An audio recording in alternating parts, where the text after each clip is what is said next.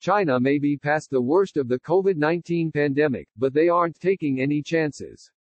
Workers in Wuhan in service-related jobs would have to take a coronavirus test this week, the government announced, proving they had a clean bill of health before they could leave the city, Reuters reported. The order will affect workers in security, nursing, education and other fields that come with high exposure to the general public, according to the edict, which came down from the country's National Health Commission. The tests will be provided to residents free of charge from the provincial government of Hubei, where Wuhan is the capital.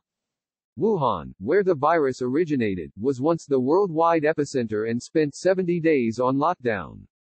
China has reported 82,719 total cases with 4,632 deaths, with the overwhelming majority in Wuhan.